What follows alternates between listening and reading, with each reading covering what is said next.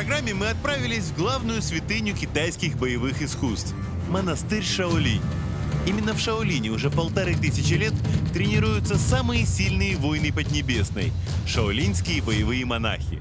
Мне удалось попасть в монастырь, и сегодня я проведу целый день в роли послушника Шаолиня. А это значит, буду следовать всем правилам монахов, подчиняться наставнику и жить по строгому распорядку дня. А начинается он еще до восхода солнца. Пяти пяти нужно очень быстро выбегать. Уже слышу звон колоколов. В буддийском монастыре начинается служба. Проспать ее нельзя категорически. Монах Дима готов к трудовой обороне. Побежали.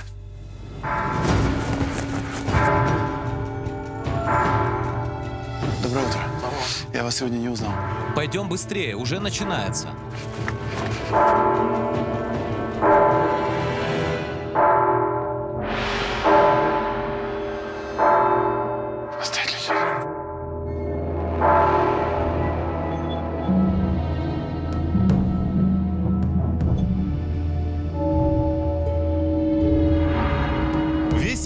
Знает служителей Шаолиня как невероятных воинов. Но на самом деле они прежде всего монахи. Для них основа всей жизни – это буддизм.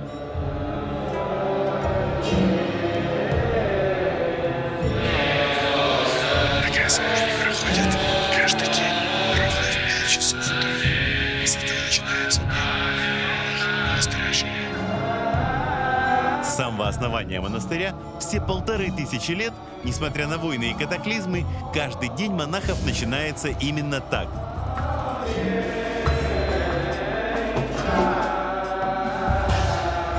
Я не молюсь, потому что не умею. Я просто остаюсь, сложив руки в груди.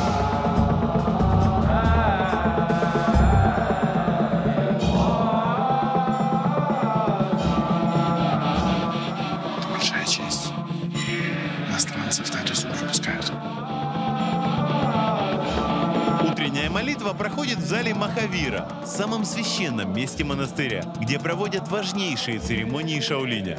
Утренний ритуал длится около часа. В этой молитве монахи просят Будду помочь миру избавиться от жестокости и несчастий.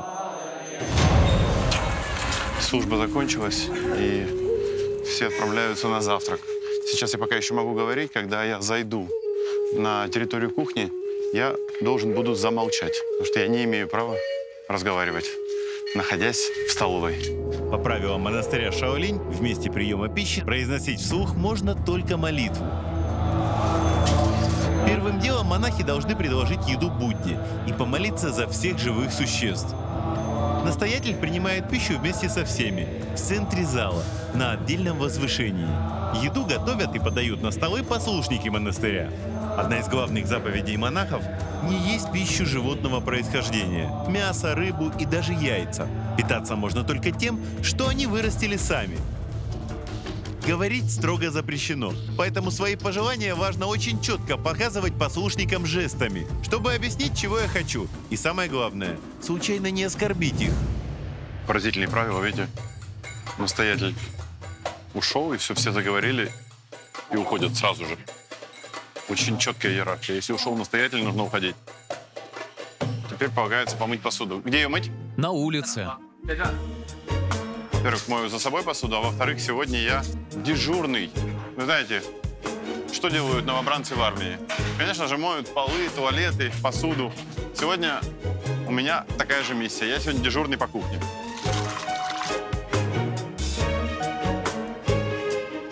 Эй, стой! Палочки не одноразовые. А, палочки не одноразовые, я чуть не выбросил. Для начала твоя задача убрать все со столов. Спасибо. На столах остались банановые шкурки. Нужно протереть каждый стол тщательно и собрать весь мусор. Здесь сидели какие-то неаккуратные монахи. Вообще обычно за собой убирают. Тут все поразбрасывали. Оказалось, что сегодня я не единственный дежурный. В уборке мне помогает один из молодых послушников. Как тебя зовут? Шихао. Ты давно служишь в монастыре? Только в этом году приехал. Ты ты тоже учишься на боевого монаха? Да, Ну, а вот это твой выбор или это родители предложили тебе? я был непослушным, и меня родители сюда отправили. А, вот так вот. Ты расстроен или уже смирился с этим? Уже привык, даже по дому не скучаю. Сколько тебе лет? 15. А вот э, кто для тебя кумир и авторитет здесь среди боевых монахов? Мой мастер. Скажи, а ты гордишься вот уже теперь тем, что ты здесь оказался? Нет, мастер говорит, что гордыня – плохое чувство. Ну, то есть тебе нравится здесь? Уже нравится. Только вот скажи мне, чего нас молодых так гоняют и заставляют убирать, а? Но мы ведь не всегда будем это делать. Если будем стараться, то станем боевыми монахами, а убирать будут другие послушники. Ну да, да. Дедовщина такая, в кавычках. Молодые должны убирать, и новички. Это не все обязанности послушников. Нужно еще подмести в столовой. Подмести все тщательно, особенно вот эту центральную зону и возле места настоятеля.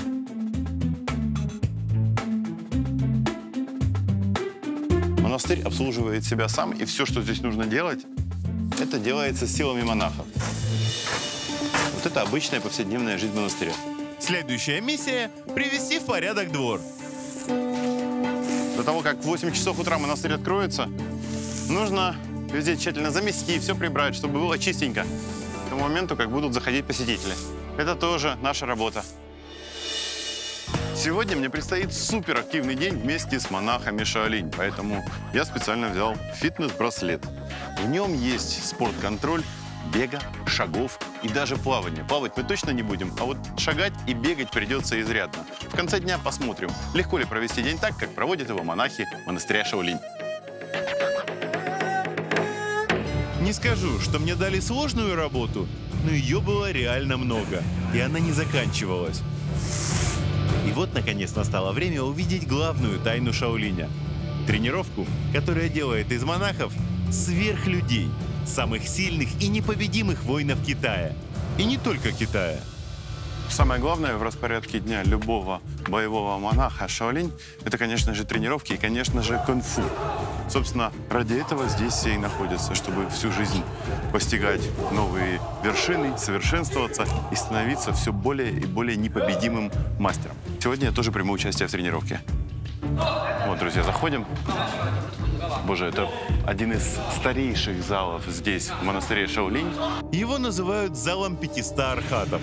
Так в буддизме называют человека, достигшего просветления. Это один из самых древних и почетных залов Шаолиня. И единственный, который сохранился с первого дня основания монастыря в неизменном виде и пережил все войны, не был разрушен и за 1500 лет ни разу не реконструировался. Здравствуйте. Знаете, вот я, я наблюдал, и мне казалось, что э, вот это то, что могло происходить и сто лет назад, и 200, и 500, и ничего не изменилось. Вот у, у вас действительно машина времени. Наш самый главный секрет в том, что мы занимаемся каждый день. Следы на полу это лучше всего подтверждают.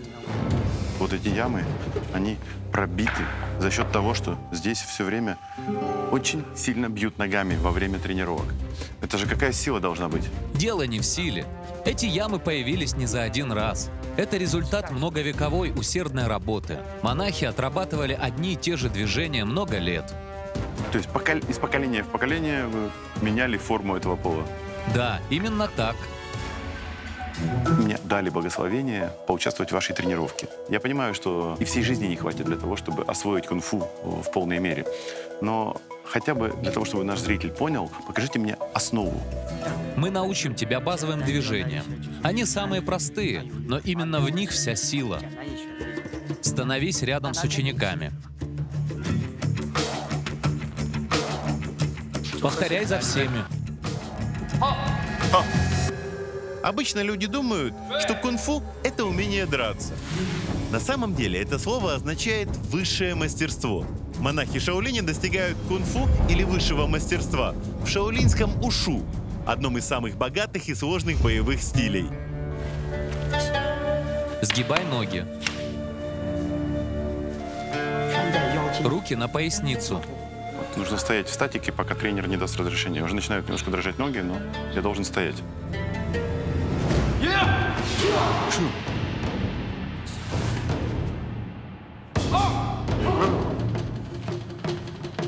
Руку на место, спину ровно. Это боевое искусство называется Шаолинь Цюань. Сейчас мы отрабатываем одиночные удары. Это начальная основа. Но даже эти, на первый взгляд, простые движения даются мне с большим трудом. Не так. Давай, покажи ему, как правильно делать. Давайте, да. Ладони вместе, руки вниз, стойка.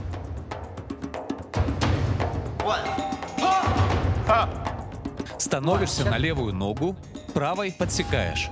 Правую ногу подсечку. Отлично, давайте еще раз попробуем. Хо.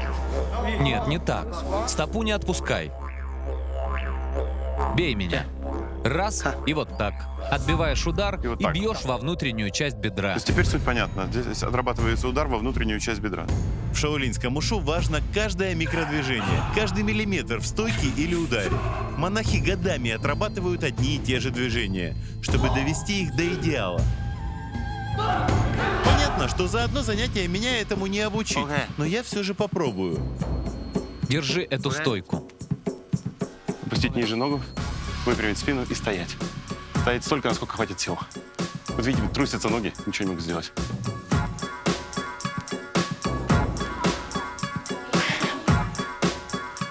Вставай. Спасибо. А. Давайте еще раз.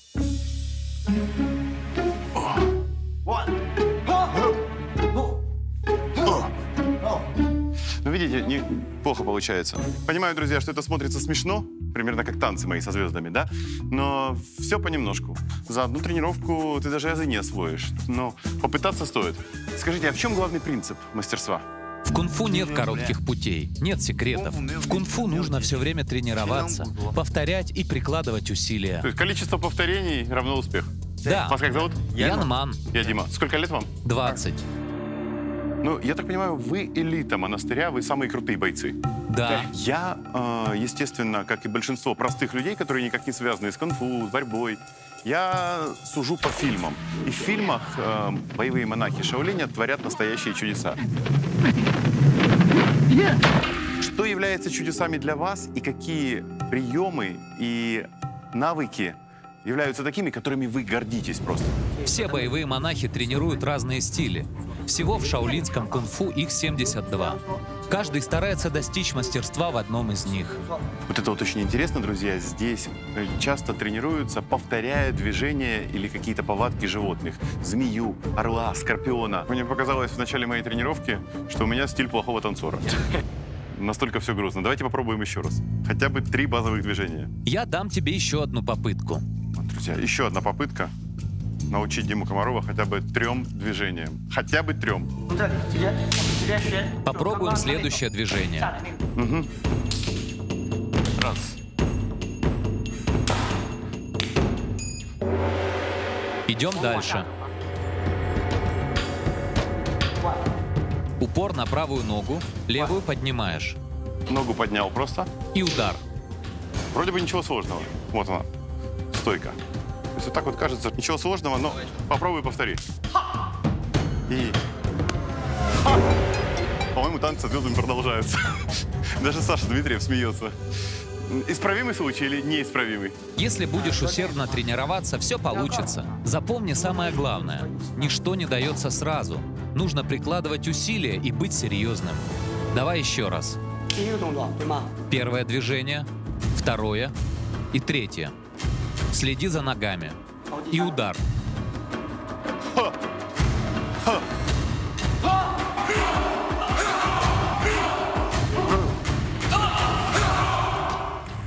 Устал?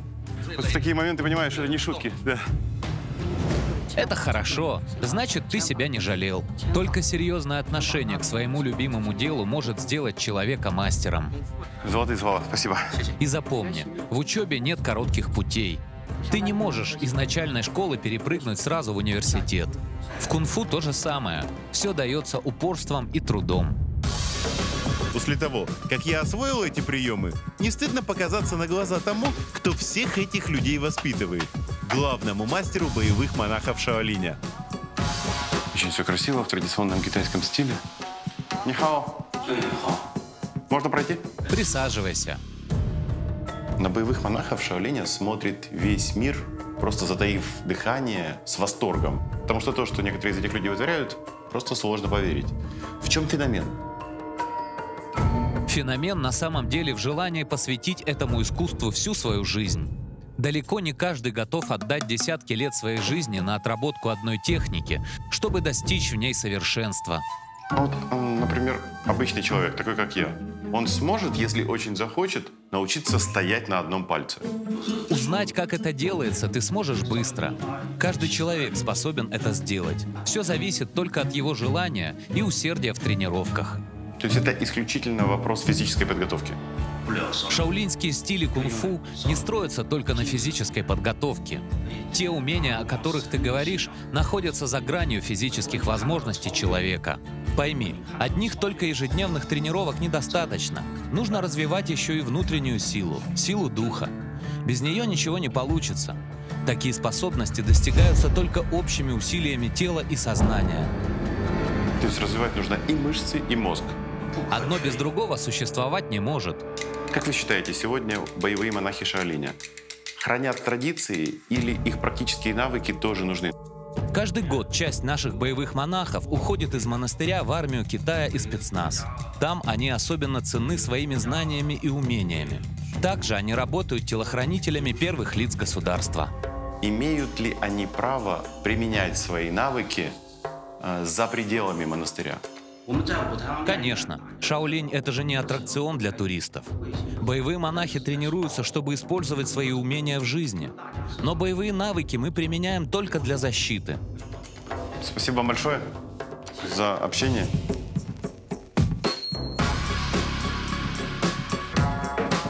Все эти монахи – элита монастыря Шаолинь. Ну, конечно же, самый уважаемый и авторитетный человек тут один. Это настоятель Ши Юн Син. Без преувеличения, легенда Китая и один из самых влиятельных людей в стране. Честно говоря, я до последнего сомневался, что этот человек найдет время для разговора со мной. Но вот меня попросили срочно подойти к его резиденции. Ши Юн Син готов меня принять и немного поговорить, но сначала я обязан научиться правильно приветствовать главу Шаолиня. Настоятелю нужно правильно поклониться. Смотри внимательно. Сначала правую руку, потом левую. Так, и поднимайся. Все, ты готов.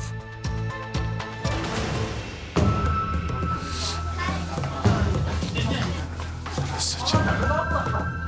Здравствуйте, все. Вот здесь мне нужно ожидать встречи с настоятелем.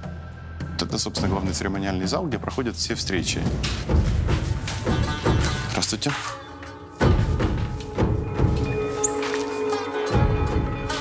Присаживайся.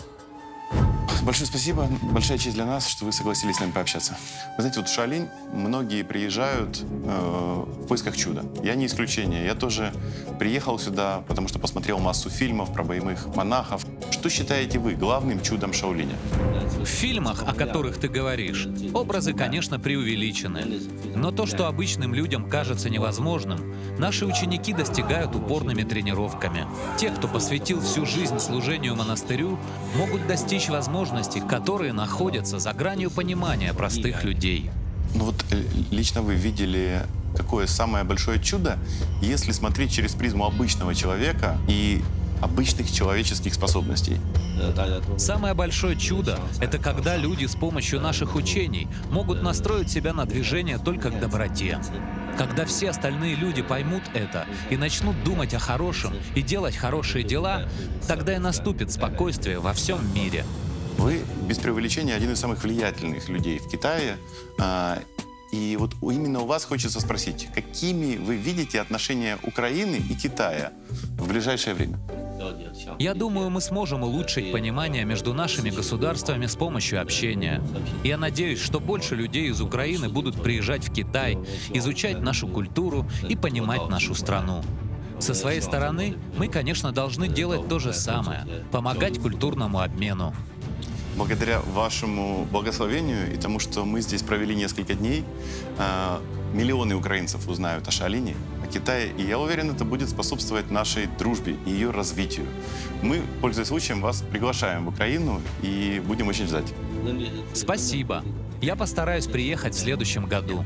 Спасибо вам большое. Спасибо большое за общение, за благословение и за то, что вы открыли нам другой Шаолинь позволили посмотреть на него изнутри. Это очень важно и ценно. То, что ты узнал здесь, неси с собой и делись с другими. Тогда мир будет просветленнее и добрее. Я действительно счастлив, что вы сможете благодаря этой встрече тоже познакомиться э, с настоятелем. Я считаю, что он общался не со мной, друзья, а с каждым из вас. И в конце концов, это еще одна возможность посмотреть с другой стороны на такое невероятное место, как Шаолинь. И несмотря на его туристичность, настоящий Шаолинь остается местом силы, в котором непременно чувствуется энергия. Итак, друзья, наш день в монастыре подходит к концу. Давайте посмотрим на фитнес-браслет и оценим результаты. Я сделал сегодня 15 тысяч 68 шагов.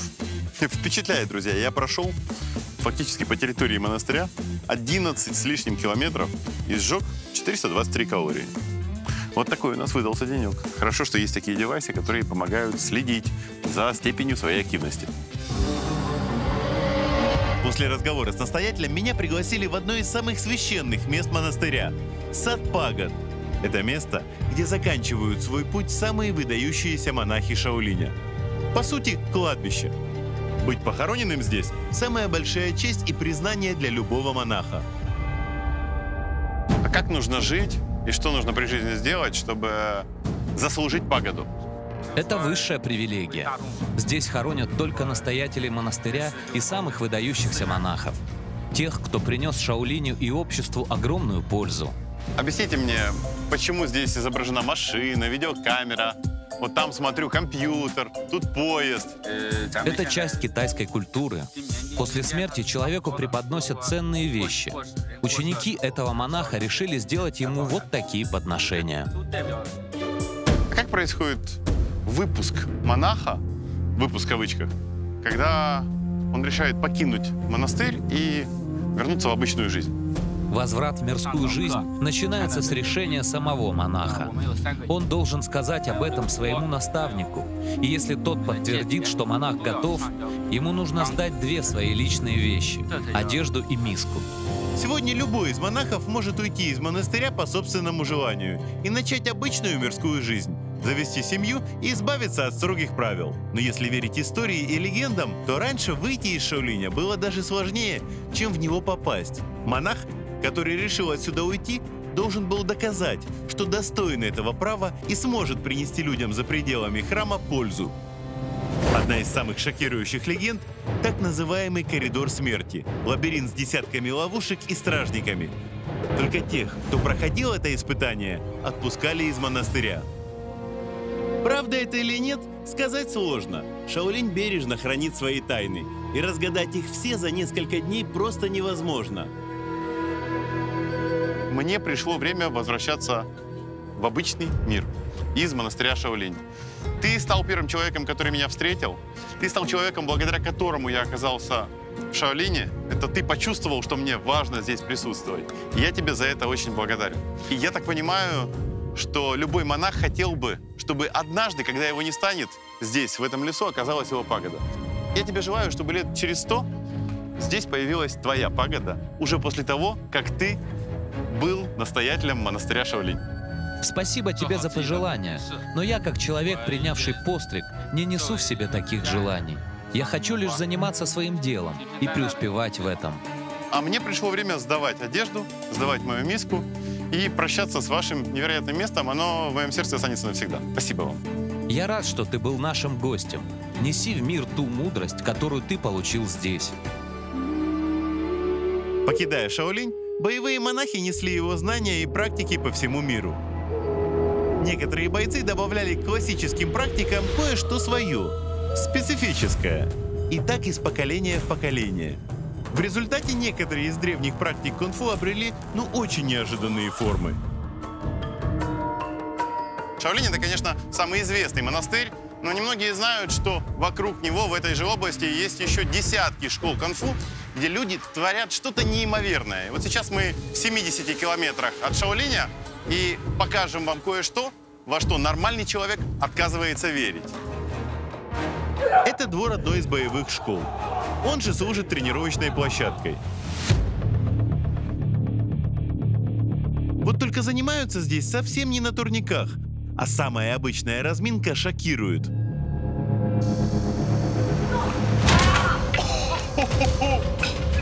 Поломал об него палку.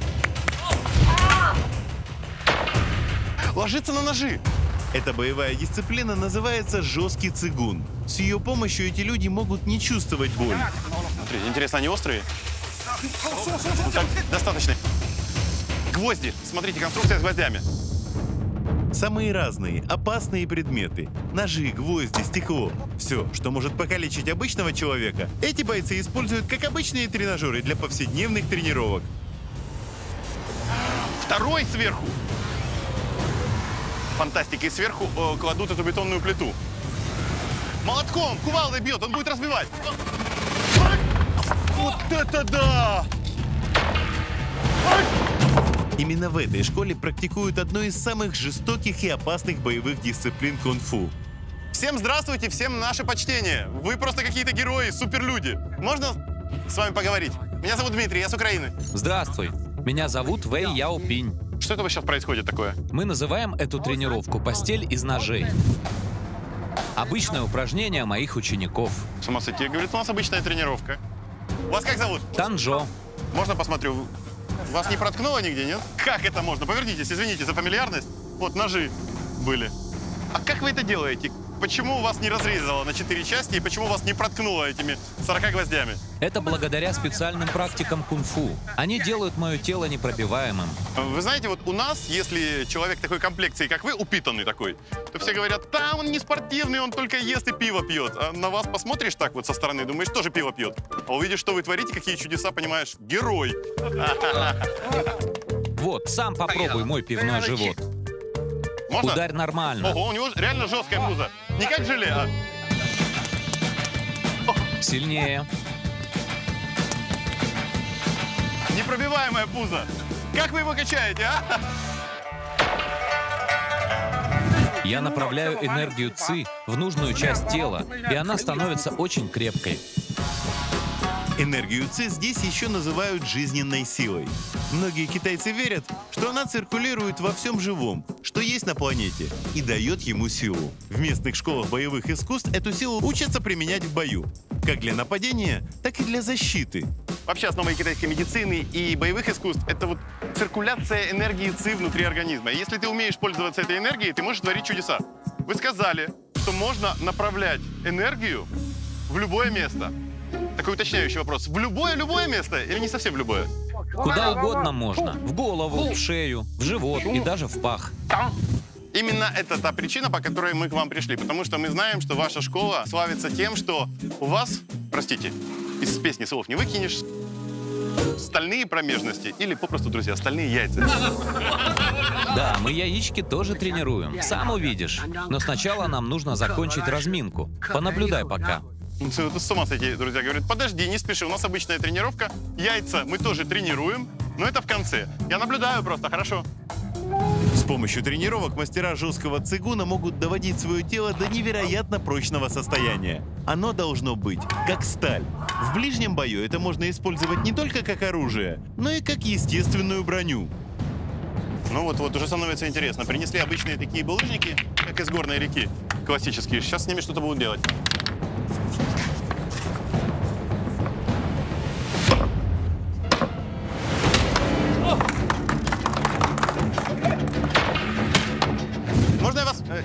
Потрогаю? Вы настоящий? М- можно руку посмотреть? Вот, друзья, поломал камень рукой. Кстати, кожа здесь жесткая. А сколько вы камней в своей жизни уже разбили? Уже не посчитаю. Очень много. Вот, чтобы ты не сомневался, что это настоящие камни. А теперь покажи. Терминатор, друзья, это терминатор. А скажите, а вот бывает у вас такое, вы идете вечером по улице где-нибудь, по какому-нибудь такому спальному райончику, и какие-то ребята подходят, ну, бандиты, деньги просят. И вы их так хоп, и поломали пополам. Мы боимся людей бить, даже грабителей, потому что одним ударом можем случайно разбить голову и убить. А вот скажите, вы когда перед ударом вы настраиваетесь и так вдыхаете, закрываете глаза, это что вы в этот момент делаете? Такими движениями направляют энергию ЦИ в нужную часть тела. Он ее не просто разломал пополам, он растращил этот камень в какие-то щепки. Может, ты хочешь попробовать? Если я попробую, вы меня сейчас увезете в скорую с открытым переломом. Дальше в ход идут куда более серьезные орудия. Эта тренировка демонстрирует, какое большое преимущество было у мастеров жесткого цигуна на древнем поле боя. С таким телом попросту не нужны тяжелые доспехи, чтобы обороняться от вражеских мечей. Дальше тренируем горло. Можно я посмотрю ваш меч? Такая имитация меча, но это э, достаточно плотный металл. Этот плотный кусок металла боец прикладывает к одному из самых уязвимых мест на теле человека – горлу. То, что происходит дальше, не поддается никаким объяснениям.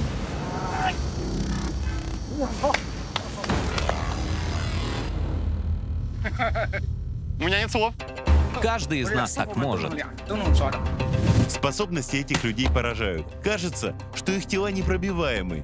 Но, как известно, у каждого мужчины есть одно самое уязвимое место. Но эти бойцы – исключение из всех правил. И говорят, что не боятся даже удара любой силы по тому самому месту. Интимному, болезненному и уязвимому для любого мужика. Пришло время это проверить. Я даже представить себе не могу, как это будет происходить. Смотрите, тут металлический наконечник. Это бревно весит 50 килограммов. Впереди металлическая пластина. Этим мы проверяем свой пах на прочность. Но не вздумай пробовать это повторить. Друзья, вы знаете, я обычно все пытаюсь испытывать на себе в программе, но здесь это тот случай, когда я воздержусь и не буду на себе испытывать. Железная промежность – самая редкая и тайная практика из всех цигун. Секреты этого умения мастера передают только своим ученикам и не открывают их широкой публике, чтобы люди попросту не покалечили себя. Не зная секрета, это правда очень опасно. Один неправильный удар может изменить судьбу мужчины. Ну, это, так сказать, он продемонстрировал убойную силу этого молотка 50-килограммового. А сейчас будет бить себя в пах. Мастер настраивается и специальными движениями концентрирует энергию ЦИ в том самом месте. Он верит, что тем самым делает свой пах непробиваемым. Особо впечатлительным мужчинам сейчас лучше отойти от экранов. Скажу честно, на это больно даже смотреть.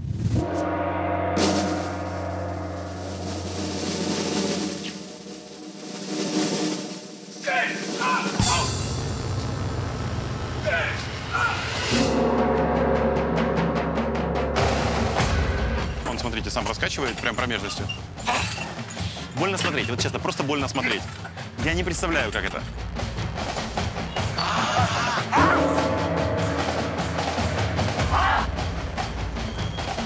Вот э, объясняется тем, что он концентрирует энергию так, что всю свою энергию направляет и делает так, что больно.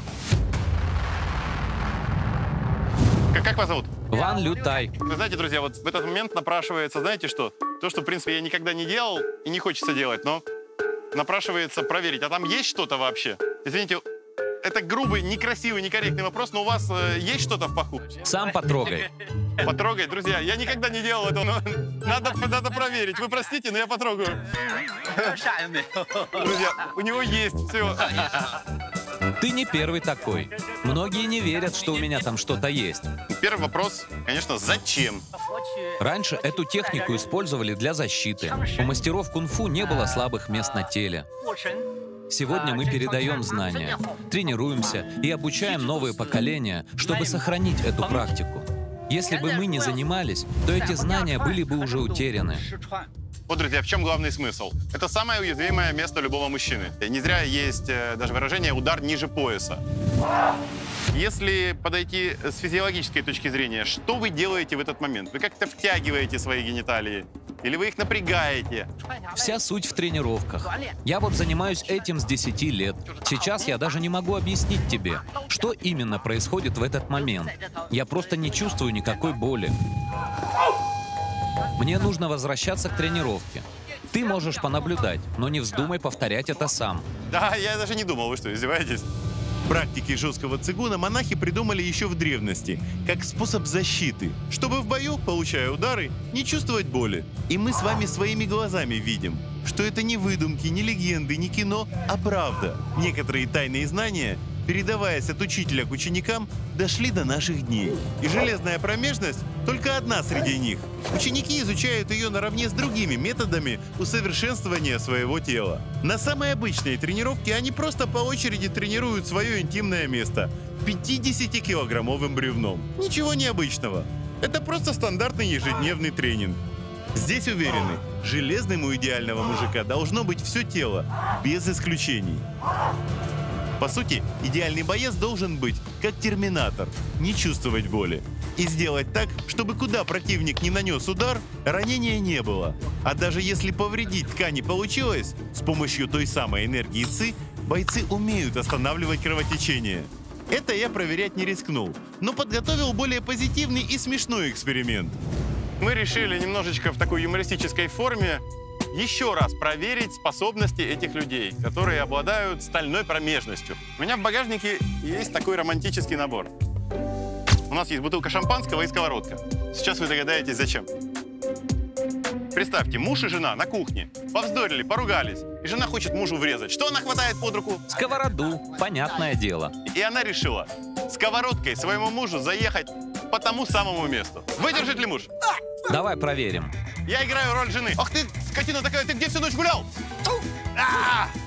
А Я реально сильно бью. Вам не больно? Вообще не чувствую. Друзья, это чугунная сковородка. Раньше, когда мы с женой ссорились, я предлагал ей меня бить туда, чтобы выплеснуть злость. Она один раз ногой ударила, вывихнула ее и больше не соглашается на это. Кому-то, может, это занятие странным покажется, но это просто иллюстрирует, что у них действительно стальные и нервы, и промежность, и вообще стальная закалка, тренировка, выдержка. И они сверхлюди немножечко. Ну хорошо, а теперь романтический эксперимент. Кто готов на него? Теперь шампанским будешь бить? А, шампанским я вас бить не буду, я просто хорошенько его взболтаю и выстрелю пробочкой в то самое место. Давай. Эксперимент, о котором мог додуматься только мир наизнанку. Вот шампанское. Для того, чтобы хорошенько выстрелило, нужно взболтать. Если хорошо встряхнуть бутылку теплого шампанского, то давление в ней может достигать трех атмосфер. Это как в перекачанных шинах автомобиля. Но в этом случае пробка может вылетать со скоростью до 100 км в час. Надеюсь, наши мужики не сомневаются в своих навыках и способны выдержать такой выстрел. О, Саня, Саня, Саня, Саня! Вот уже я так взболтал, что сейчас вылетит. Мастер, похоже, даже не заметил удар пробки. Зато этот праздничный эксперимент очень повеселил абсолютно всех бойцов. Тем не менее, настоятельно всех предупреждаю. Даже не вздумайте такое повторять. Это больно и очень опасно для мужского здоровья. Ну что, если еще не веришь в мои способности, врежь меня туда кирпичом. Друзья, таких предложений мне на съемках еще не поступало. Говорит, если ты мне не веришь, давай кинь меня в промежность кирпич. Ну давайте, раз вы просите, я не буду отказывать вам. Вот кирпич, друзья. Давай, ударь меня. Ну, вы знаете, когда просят, не могу отказать. На самом деле никакого здесь нет стеба, издевательства, насмешек. Это просто лишь способ продемонстрировать каждому из вас, что китайские боевые искусства — это гораздо больше, чем мы с вами думаем. Это какая-то тайная наука, которую невозможно вот так вот просто понять и постичь. И она делает из человека сверхчеловека. И вот сейчас я это продемонстрирую. Кирпич, и я бью мужчину. Не бойся. Нормально ударь.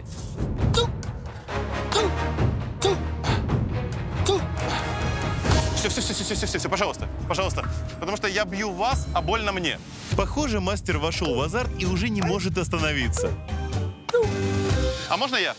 Давай, снизу вверх. Готовы? Давай. А!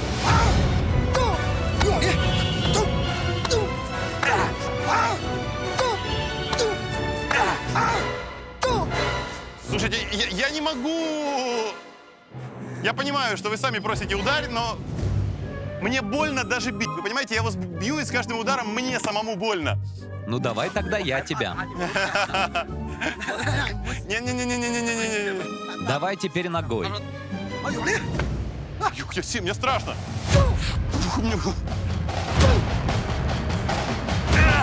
Слушайте, мне ноге больно. В этом и суть. Давай еще. Хватит, я не могу, это... это, это- Смотри, как надо. Я много чего видел в наших экспедициях, но такую картину не мог представить даже в страшном сне. Правда, на это больно даже смотреть. Мужик, которого хоть раз в жизни били в эту область, знаком с этой невероятной болью. Но в данном случае это защитная тактика, и она работает. Вы знаете, друзья, ощущения такие были, что действительно как мячик такой резиновый. Как нога отскакивает. И в это не веришь просто. В этом суть такого боевого искусства. Когда противник наносит тебе удар, то больно ему, а не тебе. Нужно только направить ци в нужную часть тела. Вот у меня по ощущениям ноги сейчас действительно будто бы я бил по деревяшке. Чтобы познать эту технику, нужно сначала выучить 72 разные практики кунг-фу, которые укрепят все части твоего тела. Сколько лет вам? 60. Ну, я бы хотел в 60 быть таким крепким орешком. Тренируйся, и тоже таким будешь. Хорошо, а вот давайте предположим, что вы мой мастер, вы мой гуру, я к вам записался сюда в школу на тренировки и начинаю регулярно, наравне со всеми остальными, заниматься. Через какой период времени я смогу себя дубиной ударить между ног? Безболезненно. 200 дней. Друзья, 200 дней. Столько мы в Бразилии пробыли. Если бы я в Бразилии тренировался и каждый день себя дубинкой бил, то уже бы терпел.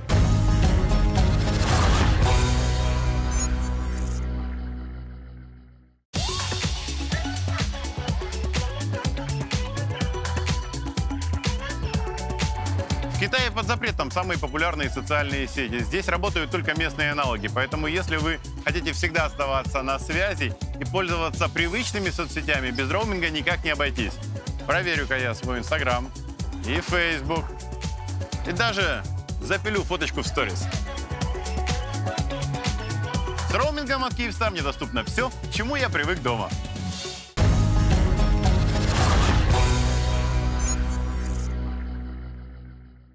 Возникает вопрос, как на мужскую силу влияют такие тренировки?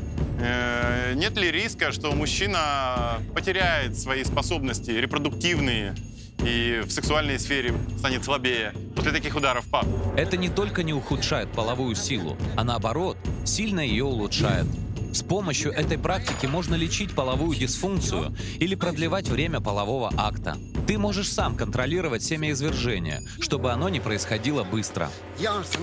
Хорошо, раз мы уже на такие интимные темы пошли разговаривать, то давайте так, вы говорите, продлевает интимную близость. Вот сколько вы можете максимально? Пока женщина не скажет «хватит». Час, два и дольше могу. Плюс эта практика делает семя более качественным. Вон, посмотри, какой у меня сын здоровый получился. О, здравствуйте! Ваш сынуля как зовут? Вэй Джен Мэн. Ваши воспоминания из детства. Батя таким баловался э, еще с молодости? Да, сколько себя помню. И как, как это выглядело? Вы просыпаетесь, а папа там на кухне у, у, подходите, он себя бьет палкой, да? Бывало и такое. А вы умеете так делать? Я не такой мастер, как отец, но кое-что умею. Тайны железной промежности обычно передают от отца к сыну. Наш мастер Ва Яопинь тоже научился у папы бить себя между ног и не чувствовать боли. И, конечно же, научил этому и своего сына.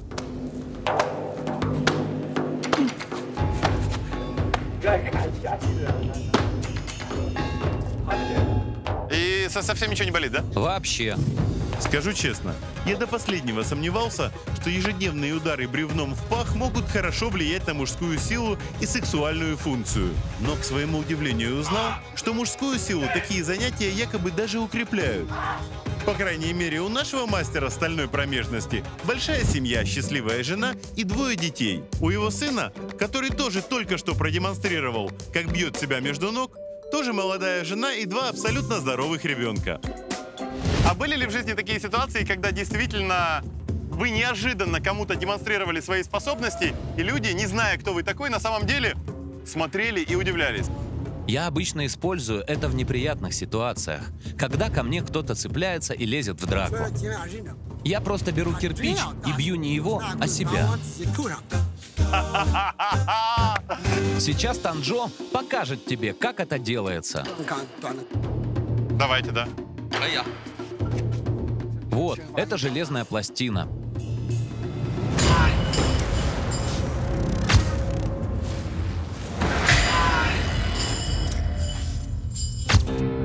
Реально железо поломал. Вы знаете, вы говорите, что ваши тренировки усиливают э, мужскую силу.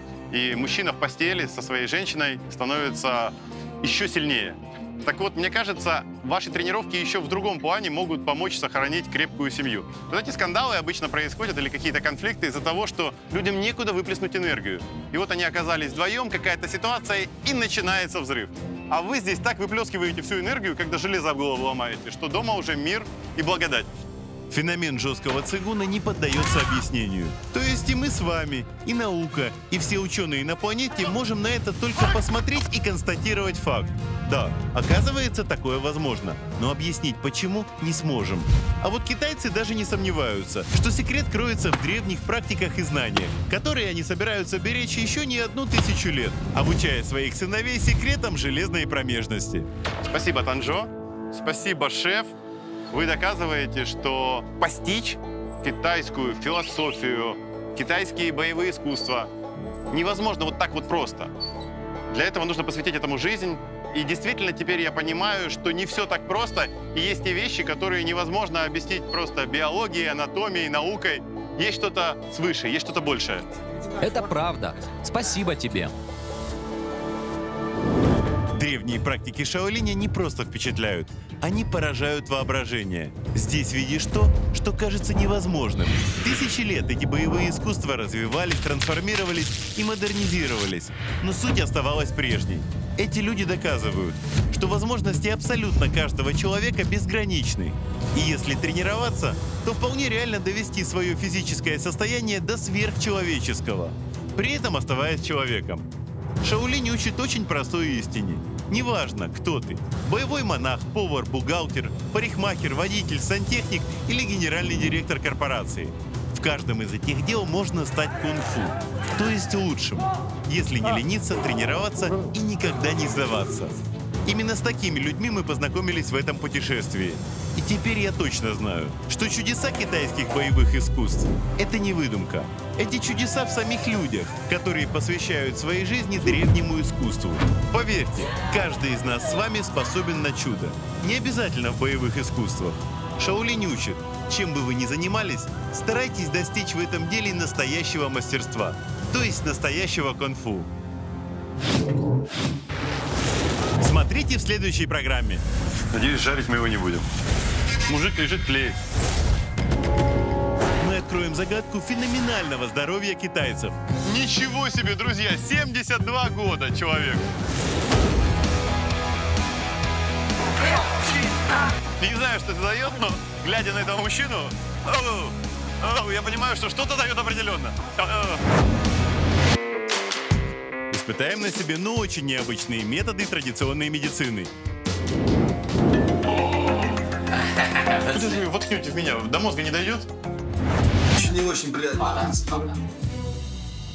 Ох, господи, рука. О, господи. Я буду в буквальном смысле гореть на работе. О, господи! Друзья, у меня горит голова. Программа «Мир наизнанку». Горящие головы.